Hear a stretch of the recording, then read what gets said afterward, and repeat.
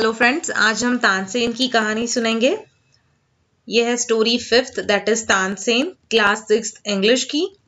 पहले हम देखते हैं तानसेन के बारे में। तानसेन अपनी, अपने पेरेंट्स का एक लौता चाइल्ड था।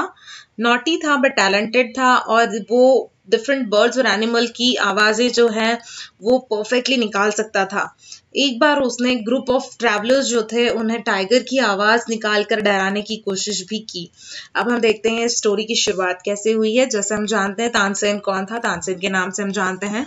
ग्रेटेस्ट म्यूजिशियन था वो हमारी कंट्री का एक सिंगर जिनका नाम था मुकदन मिश्रा। और उनकी वाइफ जो थी, वो बेहद ग्वालियर के पास रहते थे। तानसेन जो था, उनका अकेला बेटा था या इकलौता बेटा था। ये कहा जाता है कि तानसेन जो थे, वो बहुत ही नोटी चाइल्ड उस जमाने के कहे जाते थे। और वो बहुत सी बार फॉरेस्ट में खेलने के लिए जाते और वहाँ पर उन्होंने, जैसे वो फॉरेस्ट में हर बार जाने लगे खेलते खेलते उन्होंने बर्ड्स और एनिमल की आवाज़ें जो है सेम उन्हीं की तरह आवाज़ें निकालना वहाँ पर सीखा था। फ़ेमस सिंगर जिनका नाम था स्वामी हरिदास, वो एक बार उस फॉरेस्ट के थ्रू वहाँ फॉरेस्ट के पास से गुजर रहे थे। बहुत ही शांति से वो उनकी जो ट्रैवलिंग थी वो कर रहे थे। पर वो लोग बहुत टायर्ड हो चुके थे तो उन्होंने अपने ग्रुप को उसी फॉरेस्ट में एक शेडी ग्रोव के नीचे सेटल डाउन कर दिया था कुछ समय के लिए। और तानसेन ने उन लोगों को वहाँ पर देखा। तानसेन को लगा कि ये लोग जो है वो स्ट्रेंजर्स हैं। तो उसने खुद से कहा कि मैं लोगों के साथ में एक मज़ाक करता हूँ, इन्हें डराने की कोशिश करता हूँ। और तानसेन जो है एक ट्री के पीछे जाकर छुप गए और वहाँ से वो टाइगर की आवाज़ निकालने लगे। ये जो लिटिल ग्रुप ऑफ़ ट्रैवलर्स थे, वो सबके सब बहुत ही डर गए थे। लेकिन उनके उनके साथ जो स्वामी हरिदास थे, उन्होंने उन सबको साथ में बुलाया और उन्हें कहा कि डरने की कोई बात नहीं है। सारे के सारे टाइगर्स जो रहते हैं, वो डेंजरस नहीं होते। हमें इससे डरना नहीं चाहिए। और उसी में से सडनली उन्होंने ऐसे कहा और उसमें से जो एक ग्रुप ऑफ़ जो ट्रैवलर्स थे, उसमें से एक जो आदमी था, उसे ये स्मॉल बॉय जो थे, जैसे तानसेन जो थे, वो उन्हें एक पेड़ के पीछे छुपे हुए दिख गए। और फिर उन्होंने कहा कि यहाँ कोई टाइगर नहीं है मास्टर यहाँ तो ये नोटी बॉय है। तानसेन ने बहुत सी चीज़ों को सीखा था स्वामी हरिदास से 11 साल उनके साथ रहकर, और वो एक होली मैम के साथ रहते थे, मोहम्मद गौस के साथ। कौन? स्वामी हरिदास। और उन्होंने सॉरी तानसेन और उन्होंने मैरिड उनकी शादी हुई थी हुसैनी के साथ में। ये एक थी जो कोर्ट ऑफ़ रानी मृगनैनी के अंडर में काम करती थी या कोर्ट में रहती थी।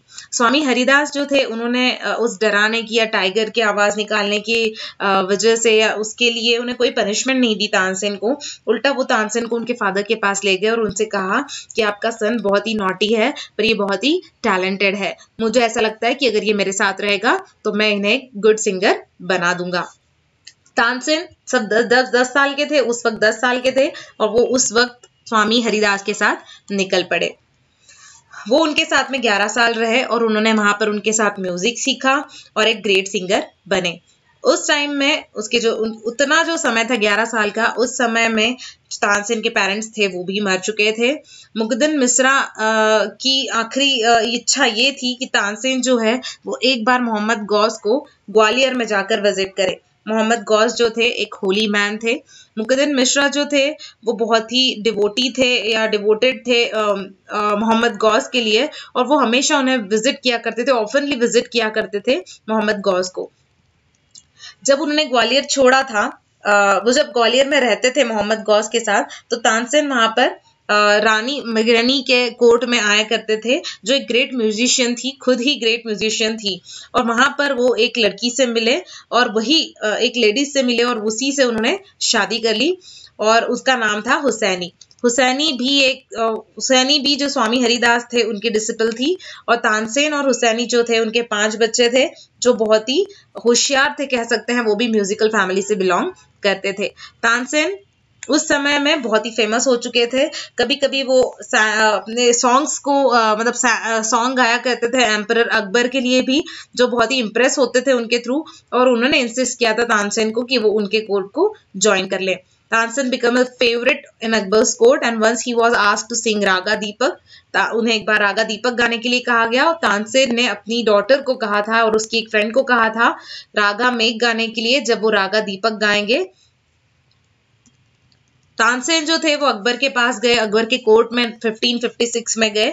या वो ज्वाइन किया और बहुत ही ग्रेट फेवरेट एम्पर के बन गए। अकबर एम्पर जो थे, उनके ग्रेट या फेवरेट बन गए थे वो। अकबर जो थे, वो हमेशा तानसेन को बुलाते और उन्हें गाना गाने के लिए कहते। डे और नाइट में जब भी उनका मन करता। और वो बहुत सी बार तानसेन के घर भी जाते थे, उनकी प्रैक्टिस को देखने के लिए कि वो किस तरह प्रैक्टिस करते हैं। उन्होंने बहुत बार उन्हें बहुत सारे प्रेजेंट्स भी दिए थे। कुछ कॉटीरियर थे जो बहुत ही जेलस होते थे तानसेन से क्योंकि अकबर जो था, वो तानसेन को बहुत ज़्यादा अच्छा मानता था। और वो नहीं चाहते थे या उन्हें ऐसा लगता था कि जब तक अकबर जब तक तानसेन अकबर के कोर्ट में है, हम लोगों का कुछ नहीं हो सकता। तो उन्होंने डिक्लेयर किया कोर्टियर्स ने, शौकत मियान जो थे, उन, उनके पास एक आइडिया आया, वो भी एक कोर्टियर ही थे अकबर के कोर्ट के। उन्होंने बोला कि हम क्यों ना रागा दीपक जो होता है, वो हम गाने के लिए कहें तानसेन को। तो बाकी कोर्टियर जो थे, वो पूछने लगे कि ये हमें कैसे हक कर सकता है?